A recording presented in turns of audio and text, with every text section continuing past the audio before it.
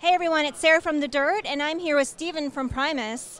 And when I'm out camping, I'm all about the open fire and cooking over the open fire. So what I saw here really caught my attention. Steven, can you just explain what this is right here? Yeah, so this is our portable option for campfire cooking. And so what we did for 2019 is made the most compact set that we can make. And so we have a, gr- a grid. Yeah, fold it It just folds apart.